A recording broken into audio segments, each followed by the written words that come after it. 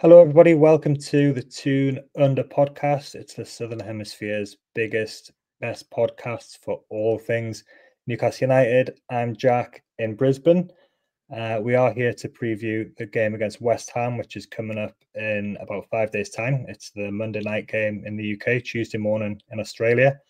And with me to help with this is West Ham fan with a really good name, James Jones. That's a, definitely a good name. Um, James, thanks for coming on. Thank you for your time. What, who are you, and what's your story with West Ham United?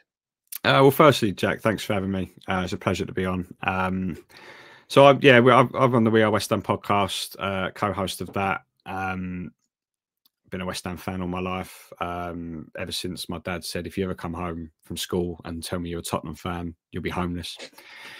Um, and I was about five at the time, so that kind of scared me into it. Um, I'm glad he did in the end because you know I wouldn't have had the joy of the last four years. And to be fair, the last four years have been probably the best four years of my entire life as a West Ham fan because it's been it's been glorious. But um, like Newcastle uh, fans, have, I've had to go through a lot of pain and a lot of suffering and a lot of frustration and anger along the way, but it's worth the wait in the end. But um, but yeah, season ticket holder for 25, well, probably coming up to 30 years now.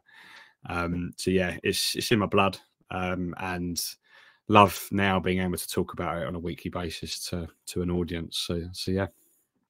How does it work then with L- the London clubs? Because obviously you've got there's a lot of Premier League clubs, so there's a lot of competition for fans and where they're going to pull. So is it mainly like you said, kind of like family connections um, with a, a club like West Ham, or is it where you were brought up, or how does it sort of work in that sense? I think I think it's a mixture of uh, where you were brought up and family connections. I mean, where I grew up on on the outskirts of Essex and sort of northeast London, um, a lot of West Ham there, but then there's also a lot of Arsenal, a lot of Tottenham. Um, so it when it comes to where I grew up, it was mostly sort of through family connections. You know, you basically supported your dad supported. Um, I do know a few outliers on that where some of my mates support a different team too. Their dad does. Um, makes Christmas dinner a little bit awkward sometimes, I'm sure. But um, but yeah, I it, it's there's so many London clubs. You know, even if you go into the Championship and you've got Millwall and you've got um, you know even some of the smaller clubs like Palace and Brentford and Fulham and um, so there's so many clubs. Leyton Orient is another one. Um, so but yeah, it's it's just you know you basically support who your dad supports nine times out of ten. Um, I do know one mate who was grew up a West Ham fan, and then um, it was when the Chelsea takeover happened with Abramovich, and he's now a diehard Chelsea fan, still is to this day. And I remember taking him to West Ham when I had a free season ticket when we were in like year eight or year nine at school. And he loved every minute of it. He was a West Ham fan. He wore a West Ham shirt that day, and now he's a Chelsea mm-hmm. fan. So you do get the odd one that will change and be a bit of a glory hunter. Um, but that's not me. No, no. We um we spoke to a guy, a West Ham fan from Australia, uh, a couple of years ago now, and he's got he's of Greek heritage, and um he just decided to start supporting West Ham from Melbourne. It was a fantastic story, yeah. And uh, a couple of our podcast um, lads as well, Newcastle fans, just sort of picked a club and went with it. Yeah. And um, so it's I, I think it's it's you know you got to give respect to people like that who who follow a club that never win anything. Hundred percent. It's easy to support Man City or Chelsea, isn't it? Yeah. Exactly. Yeah, yeah, yeah. It's rare to find fans that just go, "Oh, I'm going to support them." I'm, I'm, it's going to be difficult. Um, and there's probably fans of that club going, "Don't bother, mate. It's not worth your time. You're better off going for the bigger club." But, but yeah, I've got a lot, a lot of respect for fans like that. It's great. Yeah. So you've touched on West Ham's recent success a little bit there. They've sort of yo-yoed a bit in the early 2000s, but have been a Premier League fixture, I think, since 2012. Um, mm-hmm. Obviously, won the first European trophy in 2023. West Ham have tried to bridge that gap to the top six or seven a few times. I think that they've found it difficult to do that. So, where are West Ham as a club right now in, in that sense? That's such a great question. Um, I think if you take the start of this season out of it, I think because um, it has been a bit of an outlier. Um, we we are fine, like we're primed to be a club that can bridge that gap, and probably should do when you factor in, you know, the, the, the club's finances. I think we're we're in the top twenty richest clubs in the world. Um, you know, uh, our revenue is, I think we're, we're going to in the next month um, post record revenues of 350 million quid. The stadium has made that possible. If you look at the stadium, I know we'll probably end up touching on that a little bit later, but um, yeah. it's okay, it's not a football stadium, but it holds 66,000 people. so it takes in a decent amount of revenue as well. So the club's not poor; it's got a lot of money. It's shown that in the in the transfer uh, recruitment over the last five or six years, um, and the quality of players that we're now able to attract. And I think probably our location in London helps as well. Um, a lot of players from abroad want to come and play in London, um, so we are like primed to be that one of those clubs that can bridge the gap. Um, but our problem is that it's consistently doing it and it's probably not just our problem; it's every other club that is primed to bridge that gap, such as Newcastle, such as Villa. You know, it's once you get there, it's then sustaining it and then remaining there. Um, Tottenham mm. are probably the only club that have managed to do that without heavy, heavy, heavy investment like Man City did. Um, you know, Tottenham were a mid-table club up until you know 2010, 2008 yeah. maybe, um, and now they're regularly battling for the top four, and that's kind of where we we feel like we can get to. Not that we should be there, but we can get there. Um, but you know, there's a lot of things that probably need to happen, such as an ownership change, being that being the being the primary one that for us to in, make that a more sustainable journey for us. Yeah, yeah. Well, I want to touch on the owners in a minute as well, but how have West Ham gone with PSR stuff? You know, there's that's been in the in the news a lot, and I know that they benefited from selling Declan Rice, who was classed as homegrown, and then the, the money all can go back into the into the team and into the club. But West Ham seem to have avoided some of the PSR problems that clubs like Newcastle, um, Everton, Villa have, have got got themselves into. So how how's that been possible for West Ham? Um, I think I think a lot of it, uh, the Declan Rice thing recently would have helped massively, and that's one of the reasons why we're going to post record record revenues in the next month or so uh, over the last year. Um, you know, 100 105 million pounds of cold hard profit is isn't bad, um, but I think gen- generally we've we've done pretty well with our wage with our wage structure our wage structure when you know maybe not even five or six years ago was complete shambles and it still is in, in some areas but it's sustainable you know there is a structure there you know. If we ignore the fact that danny ings is the second highest paid player in the squad at 125 grand a week um, other than that no one's earning more than they should do you know th- there is a structure there and you know there's no there's not too many players over 100 grand a week and it's you know it's relatively good. So that obviously helps um, but we've been better at selling players recently as well. Um, there was a time not long ago before Moyes came where we we just really struggled to sell players um, for good money. I mean, you know, like we'd we'd buy a player for for 30 million quid and then he'd end up being sold two years later for 8 million quid and things like that and it's just like what's going on here like, you know it's it's not sustainable um, so we have been much better in that in that respect um, but the for all the fault I've got for the owners, um, financially the club is run very, very well these days. And I think they've got you know, they've got a really tight grip on um, everything that goes in and out the club.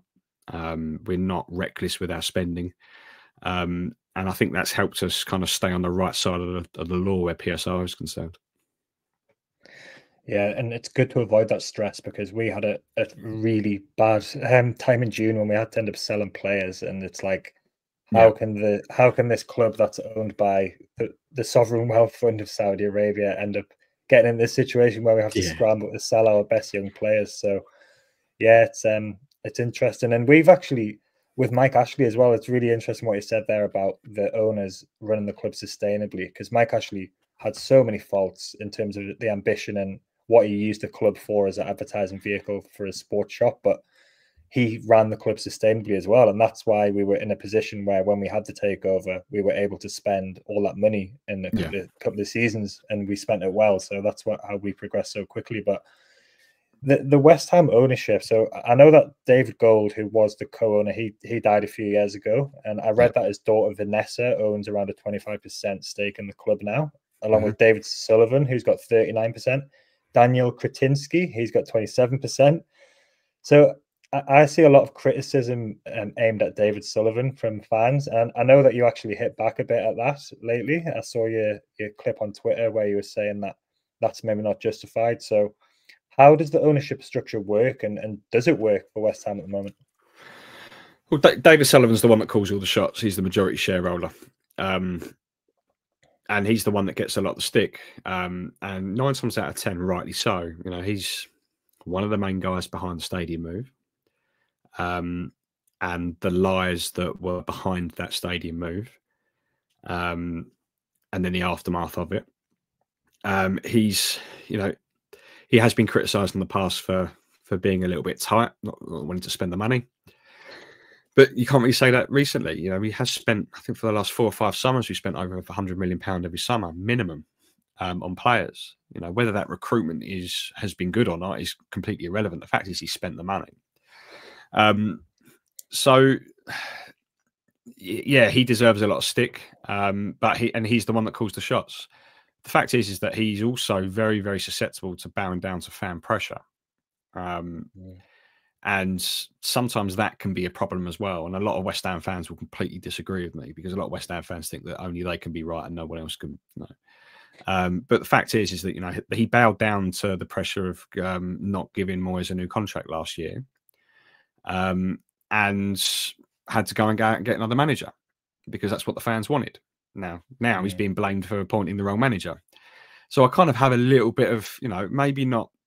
I don't feel sorry for the guy but I'm, you know, I'm aware of the fact that sometimes, you know, sometimes it's not always his fault. Um, and the mm. situation we're in now, I do not believe is solely his fault. Yes, he appointed the manager. The manager hasn't worked out. That's fine. It happens all the time at football clubs. Yeah. Um, but yeah, the, the, the long term, the fans want him gone. We, we wanted him to sell up for for many years, even before the stadium move. We wanted him out. Um, um, obviously, the involvement of Karren Brady as well. You know, that hasn't. You know, fans don't really like that. Um, and you know, recently you mentioned Daniel Kretinsky with twenty seven percent. He that that um, investment came in during COVID, I think, and it was a strategic investment. I think if you buy twenty nine percent of the club, you're seen by the Premier League as being a majority shareholder. It would have been seen as a takeover, so he bought twenty seven percent of the club. Um, now, Kretinsky's the richest man in Czech Republic. He's worth something like 12 billion. Um, mm. Owns, uh, I think he's the majority owner of Royal Mail. Owns a lot of Sainsbury's. Um, he's, you know, he's a big, very, very shrewd businessman. Um, and the fans are like, "Come on, Daniel, dig deep. You know, yeah. let's let's go for it." And I think his wealth has grown by like six billion in the last 12 months. So the fans are like, "Come on, mate, like let's buy that extra few percent." Um, but he's said, you know, I, am going to be a silent shareholder. I just wanted to invest in the football club. He owns Slavia Prague as well. So if he wants to buy West Ham, he'll have to sell Slavia Prague, no doubt. Mm.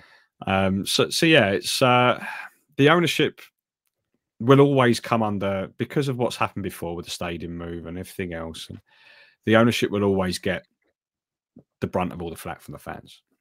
Trouble is yeah. that there's a lot of fans out there, and it's going to you mentioned my clip. There's a lot of fans out there that will not have a good word to say about David Sullivan. Mm-hmm. You know, we could go and win the Premier League, and David Sullivan will not get any of the credit for it. And it's and it's ridiculous because you know he's the owner of the football club. Surely he should get some credit for, for West Ham when I won the Premier League. But you know, and uh, during the David Moyes era, um, he people forgot David Sullivan was even there because it was going really well. The moment it starts, there's mm. any sign of any unrest or things go badly, straight away the finger goes back on David Moyes, and I just don't think it's right. Um, you know, he, he, has his faults. He's done really bad things, and, he, and we want I want him to seal the club, but to blame him at the moment for anything bad, it's just I don't agree with it. Yeah. Do, do you think that you mentioned that Daniel Kretinsky is worth about 12 billion? Do you think in the Premier League now that that's that's enough? Do you think he's rich enough to be able to push the club on to where? Because you know we talked, we touched on the PSR stuff, so like the, the they're restricted anyway what they can spend. But Mike Ashley, when he sold Newcastle, he said, and he, he, I think he's only one one or two billion, but he just said, I've got nowhere near enough money to be able to, you know, sustain, return this club into a Champions League fighting club. Mm. So do you think Kretinsky, if he did do that, if he had enough, or do you have to get people in place who are going to make good business decisions and good football decisions and things like that? I think you know it, it's it's difficult because you know when you've got clubs like Newcastle, Man City, and the wealth that they've got, you go, well, twelve billion quid are dropping in the ocean for for those owners. So no, is it enough? No. Um, but what you just said there, you know, if you've got the right people running the club, proper football people that know how to run a football club sustainably um, and successfully, then you've got half a chance. You know, David Sullivan's a billionaire in his own right, um, but the trouble is when we when we talk figures like you know, oh, that person's worth twelve billion, a lot of that isn't that's not cash in the bank. You know, that's you know shares in businesses and assets, you know property yeah. and and you know assets. Um, so yeah, he's worth twelve billion or or there or thereabouts. But you know, you know, how much can he realistically pump into the club? No one really knows. Um, so you need the right people behind the scenes running the club well, um, and that's where David Sullivan falls down a little bit. Is that you know he has been criticised for the way he's run the club in the past. Recently, he's um, he's employed a technical director, Tim Steidten, to to kind mm. of do a lot of the heavy lifting, a lot of that decision making. But ultimately, the final decision still goes through David Sullivan, yeah. and would still go through da- Daniel Kawczynski.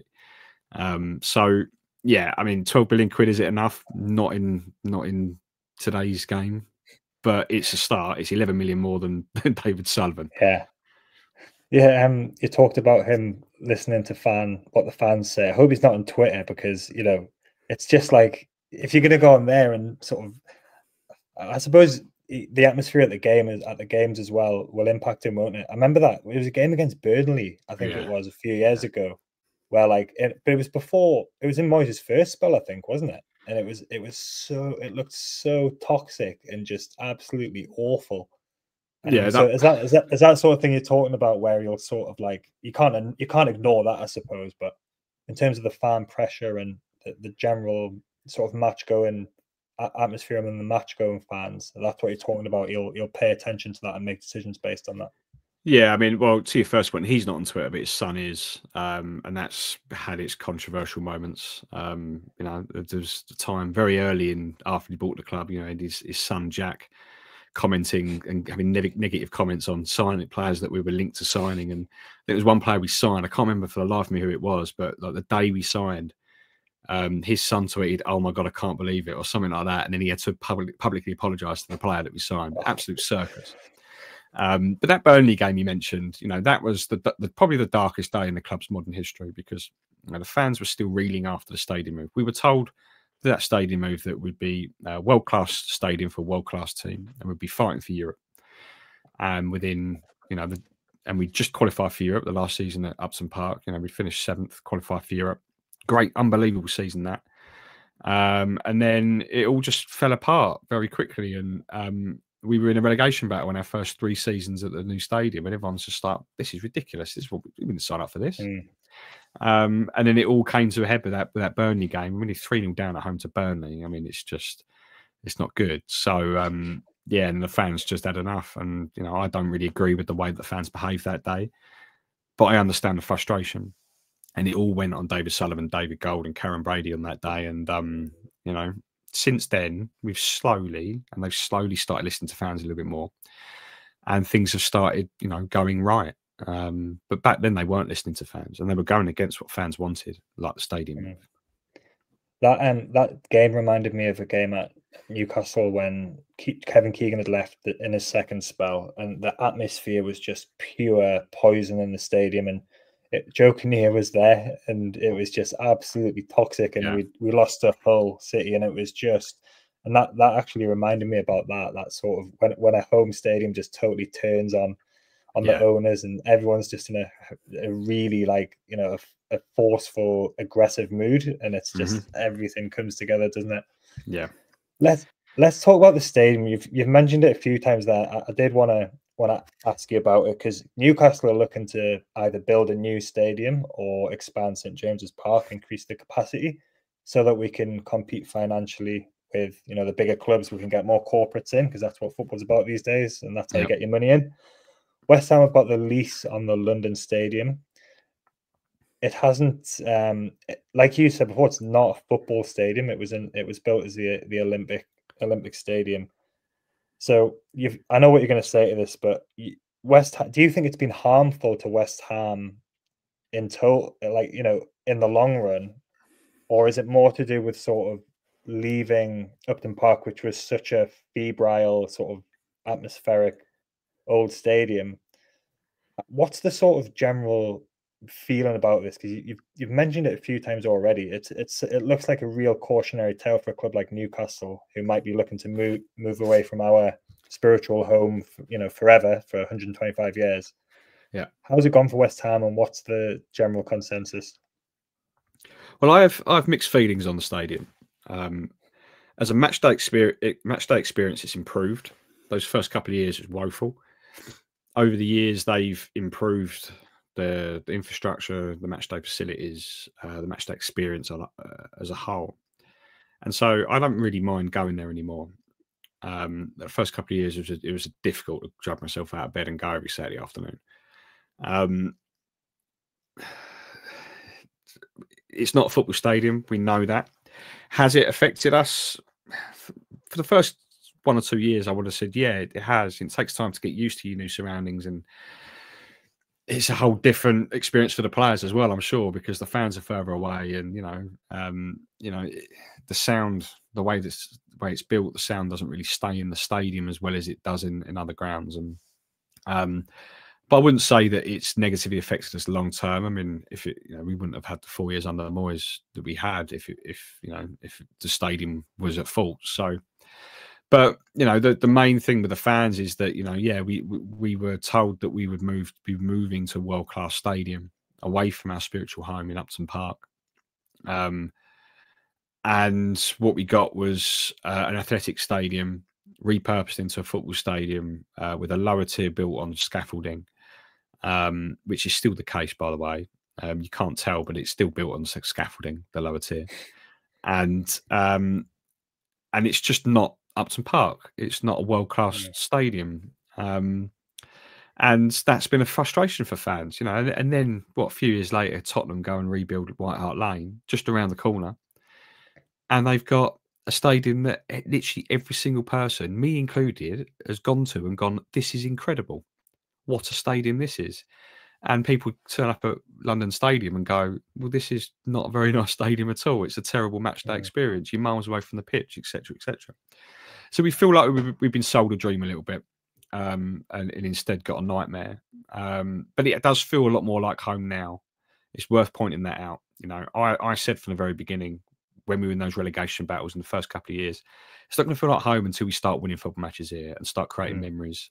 And then you start, you know, start getting a bit nostalgic of certain games and and you know being at the stadium.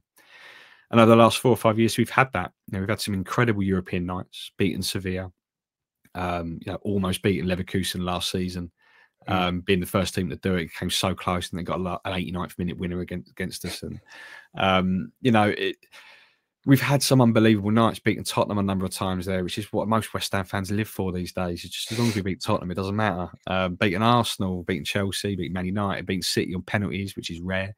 Um, so we've had some good memories there, and that's made it feel a lot more at home now. But and of course, it will never be Upton Park just like if if if Newcastle build a new stadium, whatever it, whatever it is, it will mm. never be St James's Park. It will never be the old St James's Park.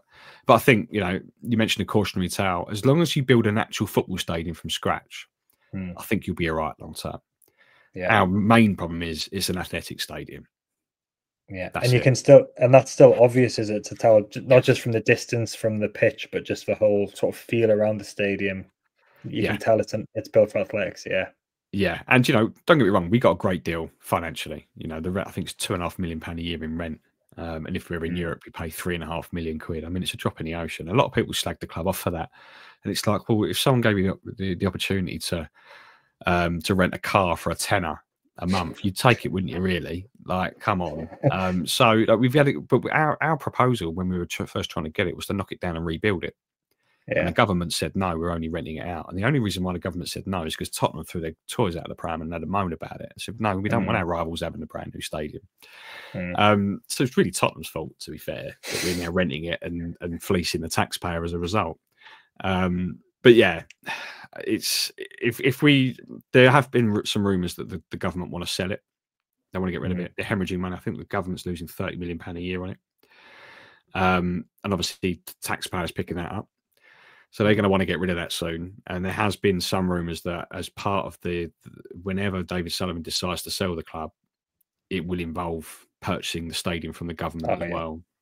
Um, and uh, and then that will probably then mean knocking it down, rebuilding it, and and then finally we'll have a, a world class stadium for a world class mm. team, hopefully. But whether that comes to fruition or not, I don't know. I remember was it Barry Hearn at Leyton Orient was kicking up a fuss as well. Oh, he like, kicked what, off. What yeah. Leyton Orient going to do with the stadium? That well, yeah, I, I, felt a little bit sorry for Barry Hearn because you know Leyton Orient being the small, well, pretty much the smallest club in London, um, two two uh, tube stops away from Stratford is mm. Leyton. So, um, and he would have seen it going. Well, hang on, on a match day, like you've got the you you know you're going to be taking fans away from us essentially. Mm, yeah. um, we need that. You know, we need to be the only club in this vicinity, and now we're not going to be, and our neighbours are going to be a big London Premier League football club. Um, so I understood his the reason why he kicked off, um, but it hasn't really affected them, to be fair. Yeah. Um, so yeah, but I understood it. The um about the stadium, I remember Andy Carroll's overhead kick, bicycle kick against West Ham. That was my, that was the first time I remember looking at that stadium and thinking, "Wow, it's actually an atmosphere there." Because he scored yeah. such a good goal. And I think that was just when, might have been just when Moyes came in and things were picking up a bit, and it West yeah, looking a bit better. But that was, I remember that was the first time I looked at that and thought, that's actually a decent noise in that stadium. yeah, I mean, trust me, the, the, when that night, when that stadium gets going, it can be a really, really loud atmosphere, like a really like jumping uh, atmosphere. Um, it just took a while for that to for that to happen. You know, it took a while for the team to start winning games and scoring goals like Andy Carroll's there for the fans to have a reason to to make the the stadium loud. Um, but we've had so many nights like that now, so many results, so many great, memorable goals, um, memorable performances that you know. Now I've lost. There's I've lost count of how many times I've left that stadium going. What a night that was, or what a day that was. That was brilliant. Yeah. Um, whereas the first couple of years, I could count on one hand how many times I left the stadium smiling. Um, so you know, it, it, you know, it, it, it was always going to take time, but I feel like we're there, there or thereabouts with it. Yeah. Let's touch on David Moyes for a minute then. Football, you know, the football public can have skewed opinions about other clubs. So I always really like to get into, you know, insights from supporters of clubs who who this actually impacts. David Moyes left in the summer again, and there was a lot of be careful what you wish for type of commentary from the, the usual suspects going on. On the face of it, Moyes was successful. Statistically, he was. He's the most successful manager in West Ham's modern history, isn't he? So there was that concern about style of play, though, um, mm-hmm. which is always going to sort of dog a manager like David Moyes. Newcastle, we've seen firsthand a couple of really bad performances from West Ham, big collapses. So, what what are your thoughts on Moyes and you know the decision? You've you've explained a little bit about the fact that it was fan pressure. So it was it was very much uh, West Ham fans were sick of David Moyes and the style of play, or was it more that the the manager, the, the, owner wanted to go a different direction, or what's and what's Moyes' standing now among West Ham fans, having having won that trophy and, and brought success? Well, I think first and foremost, I want to say that I absolutely love that man with every fibre of my being. Like what he's given me over the last few years, I thought it was a pipe dream for me before he before he arrived at the club. You know, West seeing West Ham three years in Europe and winning a European trophy was like, yeah. I mean, I was convinced I'd see West Ham win at least one trophy in my life, but I never, I never ever even considered it being a European one. Um, so I love him, and he did an unbelievable job in a very difficult situation. Uh, a club that there is a lot of pressure because of a lot of stuff we've already spoken about. Um, and he delivered, and he delivered beyond anyone's wildest expectations. Um, but last year, even the season that we won the Conference League, there were signs that think that there were cracks appearing. Um, sorry, excuse me. um, there were signs appearing that um, things weren't quite going well form wise. You know, the year that we won the Conference League, we finished 14th, I think it was.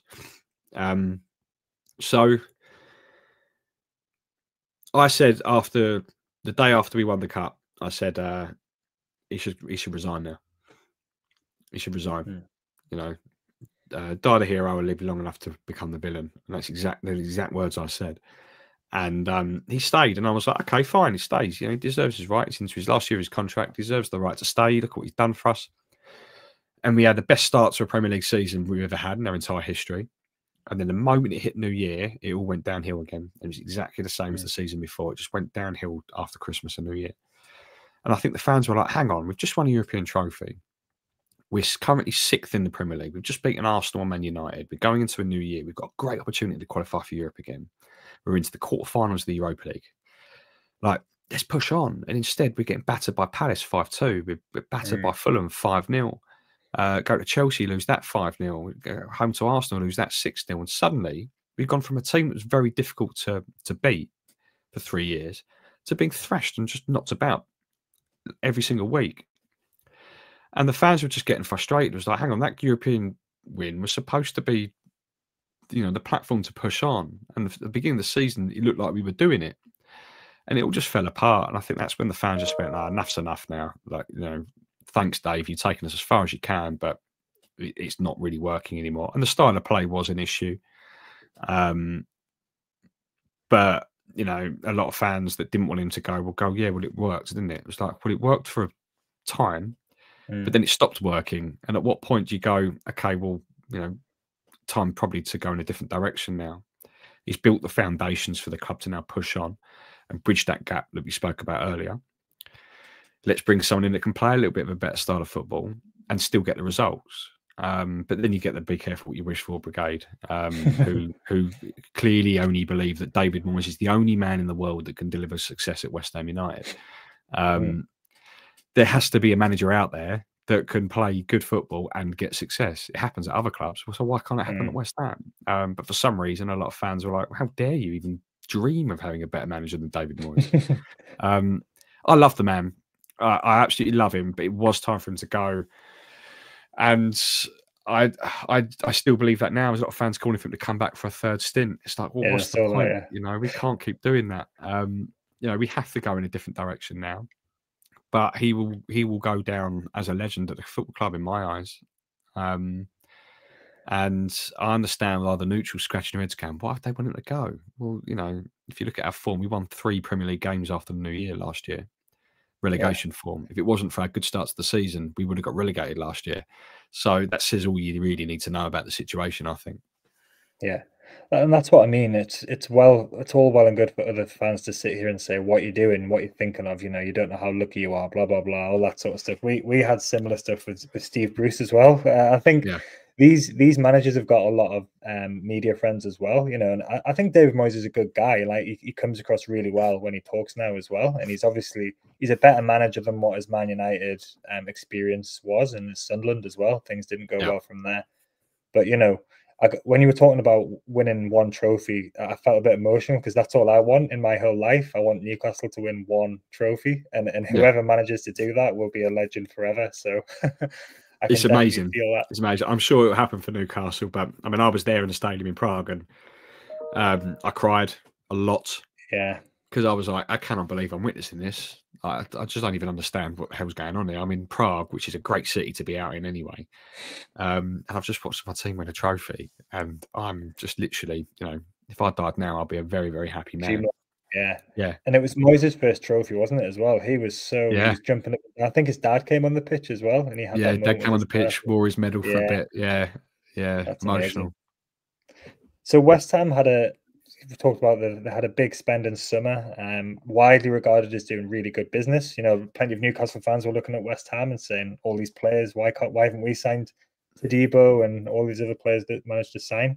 But it hasn't turned out that way yet. So Lopetegui's come in. Uh, used to manage Wolves. He had an interesting experience with Real Madrid and the Spanish national team as well. Yeah. So what's gone wrong? What's gone wrong with this season? Because there's been a lot of change with the you know the squad refresh, but the, they seem to make really good, sensible signings in positions that they needed to upgrade. What has gone wrong, and is is it terminal? Because you know that I'm what I'm seeing is that some fans are saying this is you know this is it. he's had 10 11 games but it's not going to get better and he, he's got to go is that where are you standing on this Well, up, up until about three weeks ago, I was like, no, too early, too early. Give him time, give him time. Um, and then we went to Nottingham Forest and lost 3 0. And for me, that was like, I, I'm running out of excuses here for him. um, and I, I just, I, I'm seeing no signs um, that he will turn it around. And I don't think that's anything to do with the, the, the signings that we've made. There isn't a single player, barring one in Guido Rodriguez, that I've seen play and gone, he is woeful. Like he's terrible. Todibo is an absolute Rolls Royce of a centre half. Mm. Almost too relaxed for my liking, but he's a very good centre half, just very, very chilled out on the ball. Um, Kilman, you know, everyone knows what you expect with Kilman, like you know, yeah. very, very good centre half. He's been brilliant. Wan-Bissaka's Wan-Bissaka.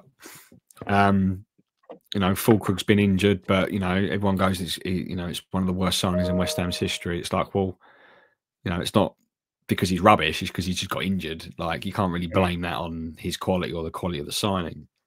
Um, so the signings have been good. Um, it's just the tactics. I think it's just he's trying to play a style of football that the players don't fit in terms of the, mm. their their qualities. You know, he's trying to play. Uh, uh, he's trying to play Wan-Bissaka as like a, a, an offensive wing back, when Wan-Bissaka's strengths are his defensive qualities. You know, he, he's widely regarded as one of the best one-on-one defenders. You know, in the Premier League, and you nine times almost every game he's caught out of position because he's been asked to bum up the pitch or drift inside, and you know, and it's a bit like this isn't working, Julian. You, know, you need to change it, mm. and he hasn't really been changing it. And then when he does change it, he completely changes the formation, doesn't play the same starting eleven um, twice, so it's clearly he doesn't really know what his best starting eleven is, um, and it's just been a little bit of a bit of a mess. Really, like no one really knows what his philosophy is or what his tactics are um, other than he likes playing Wan-Bissaka very, very, very, very advanced.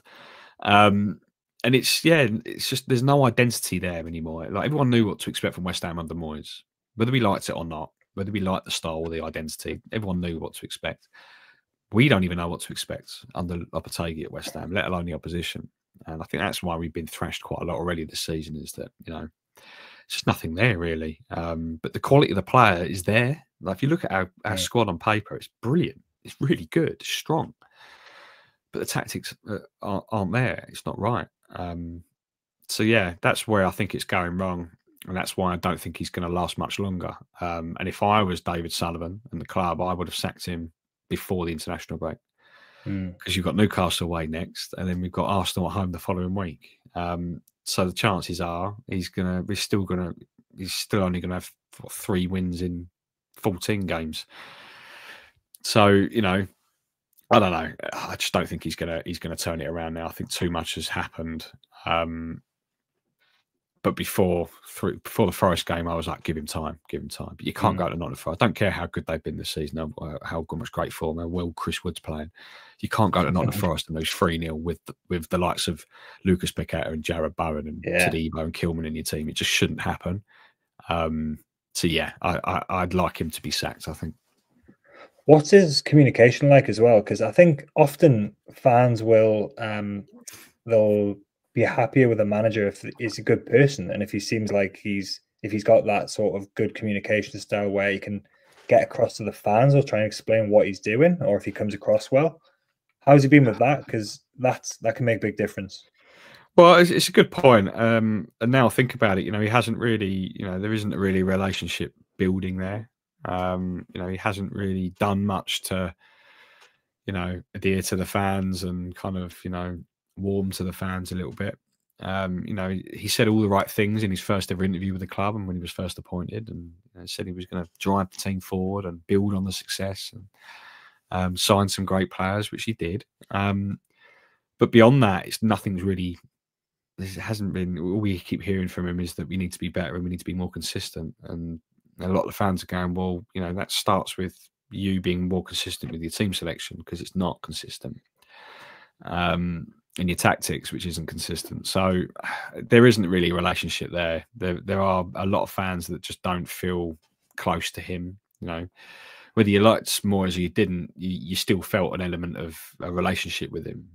Mm. Um, we just don't feel that with Lopetegui. Yes, it's still very, very soon in his in his appointment, so you know, that could change. But he's he's gone from being quite likable in his first couple of interviews in the summer to kind of almost it's kind of not so much not likable. I wouldn't go that far, um, but kind of unrelatable is probably the best term I can I can mm. I can say. And it's interesting when you look at his CV. Like I said before, Real Madrid and and Spain, he was the Spanish national team manager. So he's clearly got something that is attractive to to owners, you know. Um, Yeah. and he's, he's he's got something about. him. mean, where was he before Real? When was it Bilbao? He was at Seville, uh, Sevilla for Yeah. three years and finished in the top. He won the Europa League, um, which, to be fair, at Sevilla is pretty easy. They win it every Everyone year. Everyone does that. Um, but he won them. he- I think he finished uh, fourth three years consecutively. So he got them in the Champions League four years in a row, or three years in a row. Um, and then obviously he took the Spain job. Was unbeaten at Spain before then the whole Real Madrid thing happened, and he got sacked Mm. the day before the World Cup. And um, it didn't work for him at Real Madrid, but I mean, just all that means is that he's not an elite manager because only elite managers work at Real Madrid. Like it's, you know, some of them don't as well. Yeah. yeah, and you, that's fine. He hasn't worked at Real Madrid. Doesn't make him a bad manager. The fact is, he, he's a good manager. He went into Wolves when they were bottom of the league at Christmas, and Well, I think they finished thirteenth that year. And he only left there because he was promised funds, and then they, the owners went Mm. back on their word, and he he like just went, well, I'm, I'm out then. Um, and so when we appointed him, I said, on reflection, okay, it's not the type of manager we were expecting. We were expecting, you know, someone a little bit, maybe a little bit younger, a little bit more, someone with a, a, a reputation of playing more attacking football. He hasn't got that reputation. Um, but fine, his CV speaks for itself. He's won a Europa League. You know, he's he's got Sevilla into the Champions League three years running. He kept Wolves up on a shoestring. Um, he's Real Madrid thought he was good enough to be their manager, Mm. so they appointed him. So he's got to be good. Uh, it just hasn't worked, and I think, like I said right at the beginning, that's fine. Doesn't that, no, ev- not every single managerial appointment at any club works. It's just the way it is for me. Talking about managers getting um, connections with supporters, Alan Pardew, he's someone that has managed both clubs. Yep. He was um, he, he- Newcastle fans struggled to warm to him. I think maybe because his, his character, he he was a bit brash, you know, and he, he had that sort of like that arrogance about him, which didn't go down well. Um, but you know, on reflection, he did quite well for us, you know. Um, so and we- we've had Steve Bruce, who was a Geordie, who we couldn't stand him just because of the way his the football was bad, but also he just didn't have that connection. He just didn't get it, you know, which was interesting. Eddie Howe does, and Eddie Howe says the right things, and he's obviously brought us some success. So there really is a lot to be said, I think, for having a manager who you can really get behind, and it, it Yeah. changes the whole atmosphere, doesn't it, at the club? Yeah, I, Alan Pardew. I mean, he he got us promoted, got us to the FA Cup final. Um, uh, Nearly won the. FA Cup, Steven Gerrard. Yeah, yeah. I mean, I've, I've one of the most painful days for me that. Um, But um, yeah, he's a great manager for us. Uh, he was on the radio recently saying he'd love to come back and manage West Ham. He, he'd come back and replace Lopetegui. It was like, oh, shut up, Alan. No chance, mate. Um, Box office. but yeah, but he was yeah, he was likable though. You know, we we did like Alan Pardew. He was yeah, he was um he was aggressive and you know again said all the right thing. I suppose it also comes with the success that, that the manager has as well, and that kind of automatically makes them a little bit more likable because you know they're winning football matches. Um, I think the two do go hand in hand in some ways, but but yeah, um, I, I, as long as it's not Alan Pardew next, I don't mind. Sam Allardyce is looking for work. He can come back. God, no, definitely not Big Sam. We, we've shared quite a lot of managers, haven't we, over the We have, years? yeah, we have, yeah. yeah. Glenn Roeder as well. not- Did Glenn Roeder manage? Yeah, he did. Yeah, yeah. manage- Glenn Roeder yeah, was big. Roeder. Yeah, he did. Um, he was 2007. He managed us. Yeah, he's a Yeah. he played for us as well, so he was a really popular figure. Yeah, yeah. So, so recent games between these clubs, they- they've generally been in our favour. Um, West Ham have won one of the last eight games. We've won four, and there's been three draws. For us, there's the five-one at the London Stadium, which kind of didn't come from nowhere, but we, we weren't expecting to win that game so heavily at the London Stadium a few years, few seasons ago. I'm sorry to bring this up, but Easter as well. Last Easter this year, um, at St James's Park. I don't know what happened. It was it was a 10 p.m. kickoff on Easter Saturday, I think, for us. So we'd um, we'd been having a few drinks here in Australia, um, and that was a pretty special moment for us when Harvey Barnes' goal went in. But that was just a that was what I was talking about before these games, where we've seen probably the worst of West Ham under David Moyes, where there's just been collapses like that, uh, kind of inexplicable because West Ham were really good in the first half of that game. Um, there was another game at Yeah. St James's Park where you absolutely took us to the cleaners, and I think it was 3 1 or 3 2, but it was a really good counter attacking performance by West Ham. So, do any of these games stand out for you when you think about West Ham v Newcastle or Newcastle v West Ham? And do you think we might be in for another goal fest um, next week? Well, I think recently, uh, at just St James's Park, there've been there's been a lot of goals in those fixtures. Um, I mean, last year the whole the one you mentioned, the four the four three, uh, I still to this day have no idea how that was given as a penalty. I still don't know. Um, It was I'm still Kalvin angry Phillips, about it. it? Yeah. Yeah, I'm still angry about. It. I mean, how how can Kalvin Phillips be deemed to have found Anthony Gordon when Anthony Gordon's behind him? Um, like, it just it doesn't make any sense. Front of him. It just doesn't make any Yeah. sense. Um, but but yeah, I mean, we shouldn't have been in that position in the first place. We should we should have seen the game out. The game should have been done and dusted. Um, I, I seem to remember was it the first game of the season? We won four two one one season. St That's what I was talking about. Yeah. Yeah, and you you were you were one 0 up after a minute. Callum Wilson obviously scored Yeah. because he always scores against us. Um, so yeah, like there's always I think it was a three two one year and a two two the other year. So there's always goals at St James's Park in this game.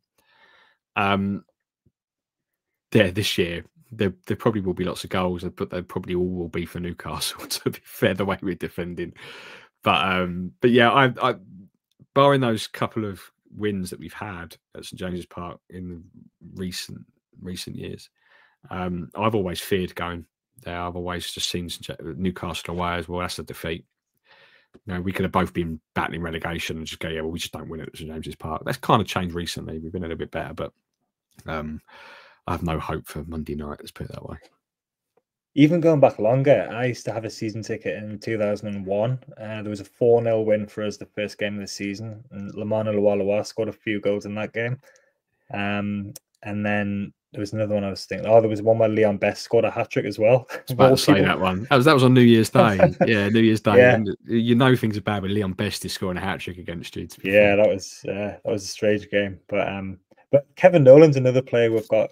You know, we've both got positive thoughts about Kevin Nolan, Andy Carroll, of course, as well. So there's definitely been some um, some players shared between the clubs. Yeah. This game, you've talked a bit there about Lopetegui's tactics. Uh, you don't probably know, don't know what the team's going to be or what the tactics are going to be, other than Wan-Bissaka will be pushing high on the right hand side. If West Ham are going to hurt Newcastle, and if they're going to they're going to hurt us tactically, or what, what's West Ham's best chances of scoring goals in this game, or uh, you know how what would Eddie Howe be looking at and thinking they're a threat and this this could be difficult to deal with? I think we're still a threat on the counter. Um, you know, for, for all the goals we conceded, we've still scored quite a few this uh, this season. Um, so we, we are good on the counter. Um, and no, the, our main problem is that when we get into the final third, we we we do bottle it a little bit. Um, so the counter attack style still suits us down the ground because it's almost like we haven't got time to think about it, you know, you just charge up the pitch and, and have a go. Um, whereas if we're sort of building up play and allowed to have the ball a little bit, and we we, we struggle to break teams down um, as well as we should do when you look at the creativity we've got in the squad. Um, so that's probably where, I, if I was Eddie Howe, I'd be looking at it going, you know, we're going to have a lot more of the ball. They'll probably let us have a lot more of the ball. Um, so we need to to to be careful of that counter. Um, the bonus is, is that Kudus isn't playing, um, suspended Mm. still, um, bizarrely, for you know, given an additional two games for that red card at, at Tottenham. Um, don't, don't know why they gave him another two games, but you know that's the FA for you. Um, but uh, with Bowen, Antonio's pace, uh, and Summerville now, who's been wonderful, uh, breath of fresh air. He's been. We've got that pace going forward. Um, but it's the midfield as well. You know, if I'm Eddie Howe, I'm going right. Well, I'm just going to exploit that midfield because you know, Guido Rodriguez, who will probably start, um, is playing at La Liga pace still, um, even though he's now in the Premier League. I don't think he's quite realised. Um, and uh, Edson Alvarez, let's just make him make rash tackles because he's been sent off twice this season for making silly tackles. So exploit our, our very dysfunctional and uh, unbalanced midfield and protect yourself against the counter attack, and you should have absolutely no problems whatsoever. And um, yeah, just attack down that left because Aaron Wan-Bissaka will be nowhere to be seen. Yeah, because we we're not we're not the best when we've got when the onus is on us to do something with the ball. So that's that maybe you know we we struggle to break teams down. We've only scored 13 goals this season. I think we scored three against Forest, but we were counter attacking in that game. Yeah. So it, I think if we can break through early, then it might be a good day for us. But if not, I think it could be one of those frustrating ones where you know we we struggle, and then the fan, you know, the crowd starts to get a little bit agitated. Um, so I think, see what happens. I think that you, you mentioned that Harvey Barnes goal last season. That's how you that's how you beat us on the break. Mm. Thread Harvey Barnes through or someone similar. Um, he's now growing quite fond of scoring against us. Yeah. Um, yeah. So, yeah, feed it through to Harvey Barnes and he'll score. I think Harvey Barnes is a wonderful player. I'm gutted we didn't sign him because um, we was linked with him the summer he, he, signed for you. I'm gutted we didn't get him. Um, but yeah, he, yeah, because of his pace, we won't know how to deal with that. And he, he might not even he might not even start because Anthony Gordon has been so good for us, and it's a bit it's it's not clear who's going to play on the left for us because it's Barnes and Gordon both like that position the best, but Joelinton's been there recently, and that he's been good there as well because we've got Joe Willock back in the midfield yeah. as well. So, well, yeah. Anthony Gordon will, will have a field day as well, I'm sure, and they'll be on a high after getting his first England goal in the week. So, yeah, um, he he will be buzzing up against um, Emerson at left back, or even if he's on the other side at, at at right back. I mean, he won't, he won't even be up against Wan-Bissaka, and Wan-Bissaka will be out of position probably. Um, so yeah, uh, you should have a field day really against our defence. It's just whether you decide to play with the ball or let us play with it and get us on the counter. Hmm. See what happens. Be an interesting game. Have you got a have you got a prediction for this game? I'm guessing you think Newcastle are going to win. Uh, yes, yeah, so I, I, do think Newcastle are going to win. Um, but I'm I'm going to try and remain positive um, because I do. Although I think he'll get sacked, I, I do want Lopetegui to to do well. I don't think anyone really wants him to do badly. There probably are some fans that want him want us to lose, so it's closer to him getting sacked. I don't think like that. I I would rather him be a success, and I want to see him be a success. Um, and I think a point would represent a good result for us, given the situation we're in. Um, so I'm going to say two-two, lots of goals, um, but we're gonna we're gonna get a point at St James's Park. Um, and then all the goals that we should have conceded but didn't, we'll concede against Arsenal the following week. well, if it's two two, we'll clip this up and put it on Twitter for you, so you can have that one. I think um, it's we we lost to Brighton at home, uh, which was we should have scored early in that game, and if we had, I think we would have run away with it. So I think it all hinges on if we can get an early goal. If we do, I think it might be a good day for us, and it might be three 0 three one maybe. Um, if not, I could easily see a draw. Um, we haven't conceded a lot of goals, so maybe a one-one. Um, but yeah, I'm hoping that we'll have the confidence from the last the last win, and we've got people like Lewis Hall in form as well, who will be on a high from his England exploits. So yeah, see what happens. James, thank you very much for your time. Very much appreciate it. Thanks, Jack. Been a pleasure. No worries. We'll catch up again soon. Take it easy. See ya.